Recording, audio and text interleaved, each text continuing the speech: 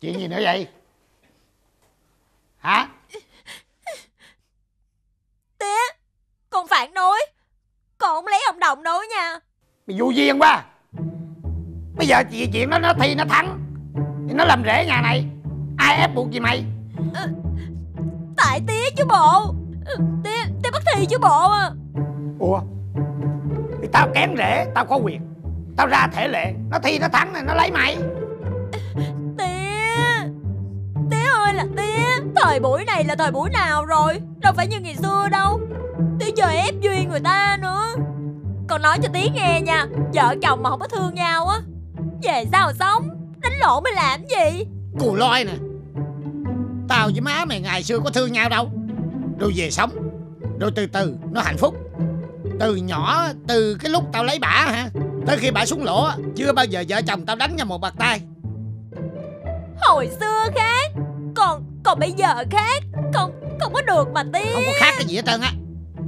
Áo mặc không có qua khỏi đầu. Tao đã quyết định rồi. Mày phải lấy thằng đông Chị Đào. Ờ. Chị Đào vậy á Là không có phải với tía gì hết trơn á. Tía Tía thương chị Đào. Cho nên á Tía ờ, mới tìm cho chị Đào một người chồng. Xứng quá rồi còn gì nữa. Chị Đào không biết cảm ơn tía. Lúc nào cũng quay qua trách tía. Tía Tía mà nuông chiều chị Đào riết vậy hả? Người ta nói với tía hả Là chị Đào hả cãi cha cãi mẹ đó nha. Con này ngó vậy mà được nè. Nó nói vậy mà có lý hơn mày á. Thấy chưa? Chỉ có cái mất nết nó cũng mất nết hơn mày. Gì tía? Mày ngồi nói chuyện với cha mày mày ngồi vậy đó hả? Tao vụ gì cũng là tía mày nha. Ngồi xuống mày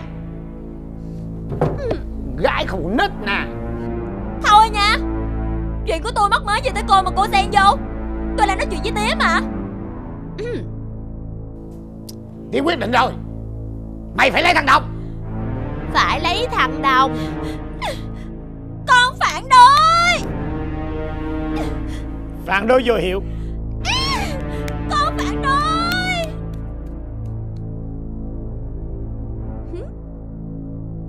Tía Tía là phải ép chị Đào nè. Lấy anh Đồng Con là con quyết định vậy đó mày có muốn lên ngồi trên bàn thờ để ăn chuối với vợ tao luôn không? Bà nội cha mày mày con tao mày ra lệnh tao hả? Con đâu dám. Biến mày!